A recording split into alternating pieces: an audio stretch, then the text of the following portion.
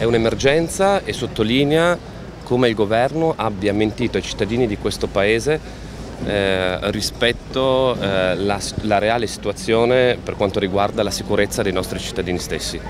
Eh, in più eh, interventi il Presidente del Consiglio in primis, eh, il Ministro Gentiloni e il Ministro Alfano hanno sottolineato come non ci fosse alcun tipo di pericolo di, di, pericolo di infiltrazione terroristica all'interno dei barconi.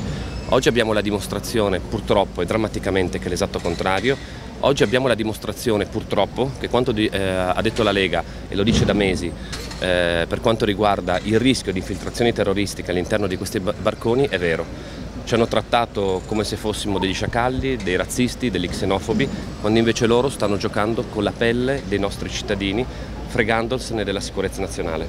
E per questo oggi noi entriamo eh, all'interno di questo comando dei carabinieri per presentare un esposto contro il Presidente del Consiglio eh, Renzi, il Ministro Alfano e il Ministro Gentiloni affinché eh, si possa avviare un'indagine se hanno responsabilità per quanto riguarda la mancata sicurezza sul territorio nazionale.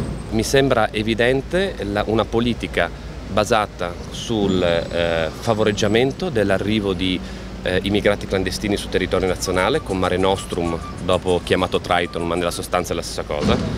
Più volte abbiamo detto che ciò non poteva eh, essere una risposta all'invasione incontrollata del nostro Paese. Mi sembra evidente i mancati controlli messi in atto da questo governo. Non a caso eh, questa eh, persona arrivata a febbraio, così almeno eh, ci dicono le notizie di stampa, perché oggi, malgrado le richieste della Lega, il Presidente del Consiglio non verrà in aula a riferire eh, a riferire su eh, quanto sta avvenendo eh, nel nostro paese.